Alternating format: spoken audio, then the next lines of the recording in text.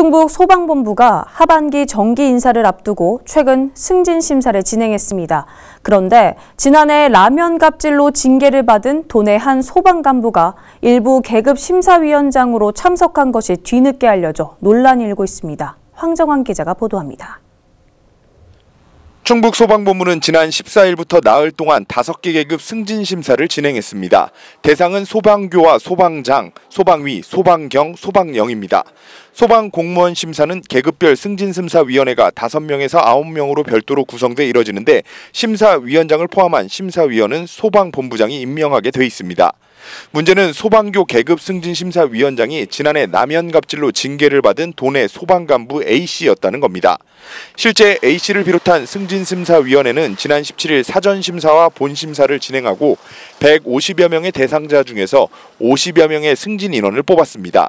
A씨가 심사위원장으로 참석했다는 사실에 내부에서 먼저 쓴소리가 나왔습니다.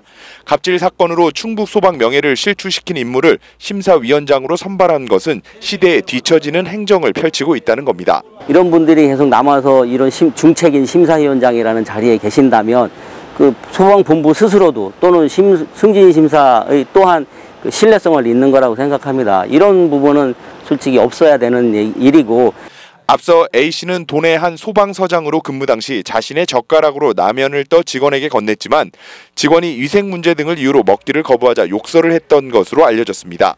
이후 인사혁신처 소청심사위원회는 소방정에서 소방령으로 한 계급 강등된 A씨를 정직 3개월로 감경했습니다. 현재 A씨는 무보직으로 근무를 하고 있는 상황입니다.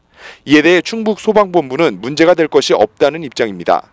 소방공무원법 제16조에 따르면 징계 처분이 끝났고 승진 대상자보다 상위 계급의 소방공무원이라면 위원장이 될 수 있다며 오히려 다른 소방서장은 심사 공정성과 현장 지휘에 차질을 빚을 수 있어 A씨를 심사위원장으로 선정했다고 해명했습니다. 규정상 문제는 없다지만 도덕적 논란이 수그러들지 않는 가운데 도내 소방관 500여 명이 참여하는 충북 소방노조는 다음 달 6일 출범할 예정입니다. HCN 뉴스 황정환입니다.